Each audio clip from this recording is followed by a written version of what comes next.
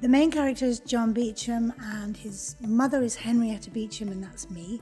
She is um, a sort of God fearing, quite conventional, quite straight laced, um, middle class woman in this is 1795 we're talking about. She comes over from England to find her two sons who are both in India. I mean, she's deeply fond of both of them, but she's a challenging human being.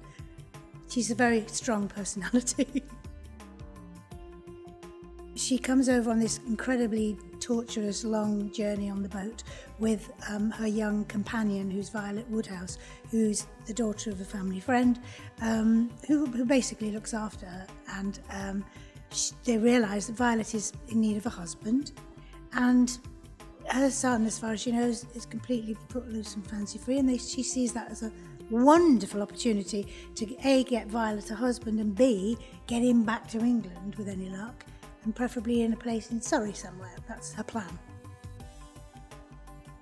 Well, my memory of it is horrible. I didn't like it at all.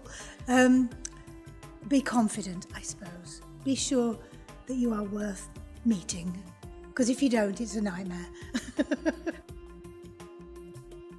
I was thrilled when that happened because it's, well, I think it's the first time. I mean, I've been doing this for 40 odd years and uh, and I don't mind. I've been given some great stuff to do, but it's as you say, it's been very specifically there.